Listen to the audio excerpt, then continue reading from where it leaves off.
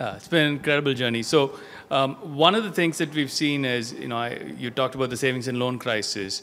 Uh, the pandemic has been a more recent pivotal moment for a lot of companies. Can you talk through how Dick's went through the pandemic? What did you do? What what were you able to anticipate at the start of the pandemic, and how did you plan for it?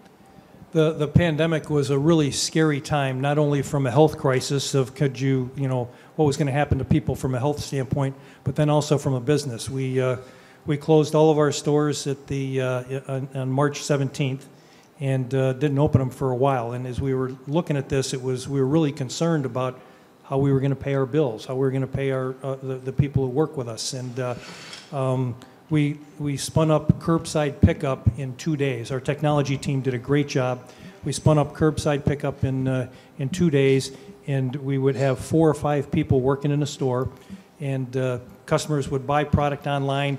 Uh, they would text. The guys would take the, the product out, put it in the in the uh, in their trunk.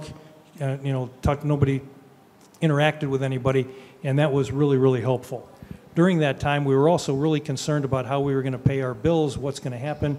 So we went out and we did a, uh, a convertible debt instrument, um, which we knew that if this didn't last long, would probably not be the right thing to do.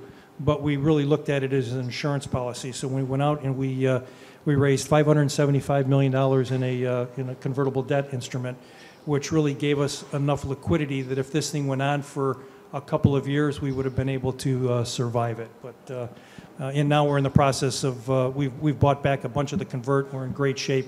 But uh, it was a really scary time. And I think you really had to, we, we looked at it, you had to do, you had to take some steps that you might not normally take, but to make sure that you survive. The whole idea was not about how you're going to grow the business, what you're going to do, but just over the next two years, can you survive? Yeah.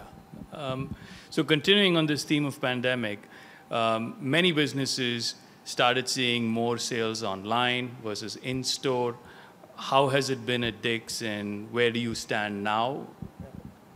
It was, we, we saw a lot of business, most of the business when the stores were closed obviously went to, uh, to, to online. Mm-hmm. Um, and so the, the online business has, the, the online business hasn't gone down. The brick and mortar business has come up at a much faster rate. But now that everything is stabilized, our online business is growing at a really fast rate again and uh, we're a little more than 20% of our total business is online.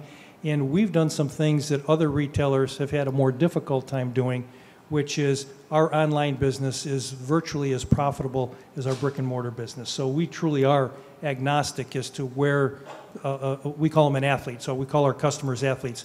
We're very agnostic as to where an athlete shops. They can shop it in store, they can shop online. We don't really care. We're just we're just happy they shop with us.